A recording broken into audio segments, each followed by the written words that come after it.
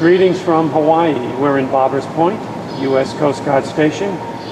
It's January 2011. And today we're speaking with Luke. Luke is a rescue swimmer for the U.S. Coast Guard.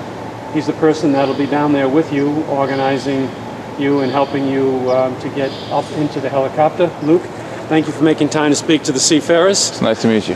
Um, can you tell the seafarers uh, a little bit about your team? First off, you have a team of four on this. Mm-hmm. Uh, that's right. Uh, usually, whenever we go out on a rescue mission, there's uh, four positions on the air crew. So there's a rescue swimmer, which is what I do myself, and then there's a flight mechanic, and then there's two pilots. And so the two pilots are responsible for flying the aircraft and uh, making sure we know where we're going and getting us back safely and uh, deciding how to perform the rescue. And then uh, flight mechanic backs up the pilots with all these duties. And, and then when the rescue is actually happening, when, when the doors open and people are being hoisted to vessels or, or you know, things like that are going on, then, then everybody really is working as a team. And the flight mech's at the door, you know, running the hoist, and the rescue swimmer is, is either going down and, and doing what he needs to do to, to get people back up in the helicopter or he's uh, helping the flight mech, or you know, we all basically help each other as a team and back each other up, and uh, pretty much you know one one unit up there, all working together. Well, uh, the uh, the actual entry in that you have to make um, is usually, I imagine, in weather that's less than ideal. Oh yeah, that's right. Uh, you know, usually when we go out and to rescue someone, it's it's usually because of uh, you know things have gone bad. So either you know if it's bad weather or heavy seas or uh, you know if someone's been injured or something like that. Usually we don't get called out if it's you know ideal conditions or uh, or everybody's having a nice day. Usually it's it's always things have gone bad and and you know it's everybody is usually happy to see us when we get there. So. um, how do you go through training and what made you find this um, military occupational specialty? Okay, uh, well, see, uh, when I joined the Coast Guard, I didn't know what I wanted to do, so at a boot camp, I got stationed on a, on a boat um, up out of Kodiak, Alaska. And after spending a while there, I kind of decided I, I, was interested in aviation, so I joined, uh, I signed up for the rescue swimmer program and once you do that, there's basically three steps to the process. You have to go and uh, through an apprenticeship program at an air station and learn basic uh, aviation practices and uh, kind of prove that you're, you're worthy to go to an aviation school. And then once you do that, then you go to an actual aviation school. And uh, all the schools are specific to what job you're going to be doing once you get out in the fleet. And so as a rescue swimmer, our, uh, our school was four months long and it was based around um, uh, inspecting and uh, repairing survival equipment and also uh, rescuing people and uh, you know just being an air crewman. And then after rescue swimmer school, we, um, we all go to uh, EMT school where we learn the medical side of our job so we can you know help people you know in emergency medical type situations and after that, then we go to our actual unit and we start learning about the aircraft that we're going to be flying on and how to actually function as a, as a member of air crew and, and actually do our job. The communication um, has to be critical in this um, between the team of four and with the vessel or the um, um whoever it is you're rescuing if the vessel's not there. Um, how do you um, go through that training? What, and how important is that for your? Um, well, uh, as far as uh, you know, getting out and, and going and doing a, a rescue mission where we're actually going to be flying out to a vessel or you know going out to look for someone, pulling someone out of the water. we're always you know trying to get as much information as possible before we get on scene because you don't you know you don't want to just show up out there and then find out that that things are um, 180 degrees from what you expected. So you, as on the way out there, before we leave, we're just gathering as much information as we can.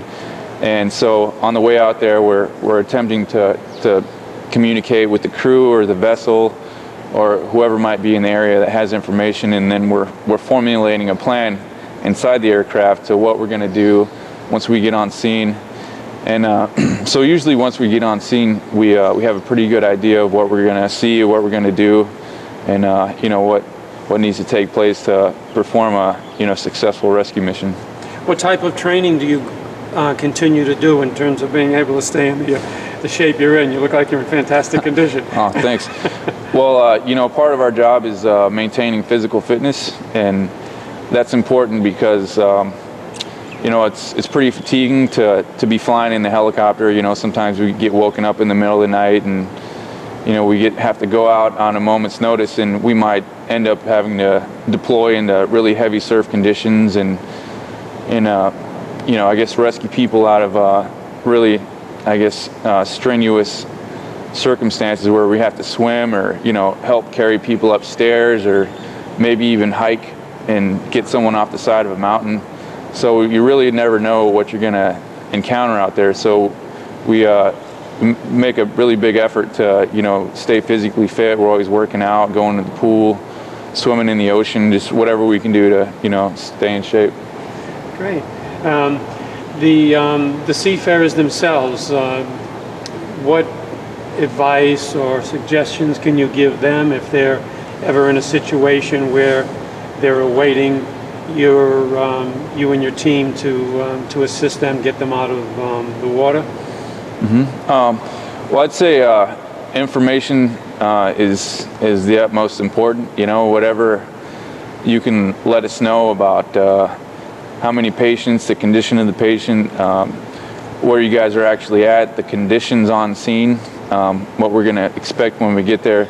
All that stuff will help us uh, plan and help us be safer. And then uh, at the same time, too, uh, you know, just safety, overall safety. Um, is, is always important. You know, I guess uh, an ounce of prevention is always worth a pound of cure, right? Sure. So, you know, with that said, you know, it's just don't hesitate to call if, if you're in doubt, I guess. The, um, the actual rescue, when it's underway, you're in the basket or you're helping them get into the basket. Do you go in with them normally? Um, well, there's a couple uh, different methods that we have to take people and get them inside the plane. Um, we have uh, rescue litters, we have rescue baskets, and then we have a couple of different, um, I guess, hoisting straps that we have different names for. Uh, with the rescue basket, um, usually, almost all, all the time, it's only one person in the basket at, at the at, you know at the same time. Um, we're never really going to put two unless it's a really dire situation. So uh, Yourself and someone else, or just the uh, the person you're rescuing in the basket at that time? Oh yeah, just just one person. So if uh, we need to get someone off a off a vessel with a basket, we would either just send down a rescue basket, and let uh, if there was a competent crew on deck that was uh, that we felt you know knew the situation well and could be safe, we and the you know the conditions weren't too severe, we could just send a rescue basket down, and the injured person could get in the basket and, and hoist them up. Sometimes um, it's best to send the rescue swimmer down first to assist with the hoist to get the basket down and then help put the patient in the basket. But um, pretty much always there will only be one person in the basket. So either, So when you're in actually in the water and the basket comes down or a mm-hmm. hoist, you're putting someone on the hoist or in the basket and mm-hmm. they get brought up and then the basket gets sent back down for you or another patient? Yeah, that's that's correct. Yeah, when we uh, when we get people out of the water with the basket, they just they uh, they'll lower the basket, um, and then if I'm in the water and, and I have a have a survivor, um, I'll swim up to the basket and, and put them in, and and then away they'll go as soon as uh, as soon as everything is stable, and they'll get hoisted up and uh, come up to the cabin. Flight mech will pull them in and and then uh, they'll send the basket down again, either for me or, or the next guy. You know. What's that like when you're in the water and you see the patient go up, but you're in heavy surf and? Uh... well, you know, a lot of times uh, it's it's more comfortable for us to be in the water than to be in the helicopter. Sometimes, you know, I mean, sometimes uh, when when the conditions are really rough, it's it's a pretty rough ride. You know, especially if uh, if I guess you know there's a lot of people in there and uh, it's loud, it's noisy. So sometimes being in the water is, is a lot more peaceful, you know. So, but you don't want to get left behind. So, And I don't think anybody leaves anybody behind in the Coast Guard. yeah, uh, Nobody. usually not. Usually not. Great. Well, listen, thank you so much for making time to speak to the seafarers and for all that you continue to do for them. And I wish you a, a very safe uh, career inside the Coast Guard and um, safe flying and safe right. swimming. Thanks a lot. Okay? appreciate God it. God bless and safe sailing to our seafarers.